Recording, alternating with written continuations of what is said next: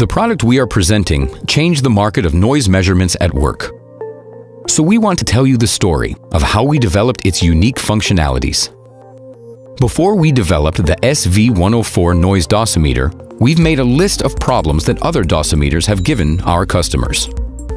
Visibility of results on the display, vibration interfering with measurements, workers cheating the noise results, lost windscreens, unrecognized noise sources, no online results.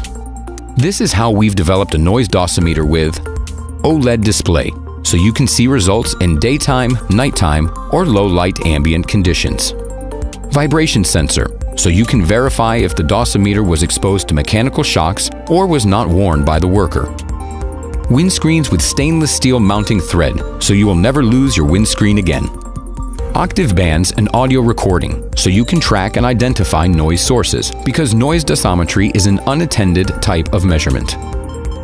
Mobile application, so you can control the dosimeter from your mobile phone or tablet.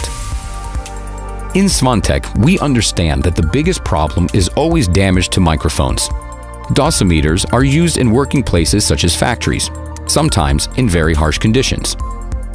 Dosimeters are dropped on the floor accidentally, and the microphone is the first part to get damaged. This is why we've developed the first dosimeter with indestructible MEMS microphone that doesn't even break when it's dropped. And damage to the microphone means cost of service and a lot of time wasted to return the unit back to the service and the calibration laboratory.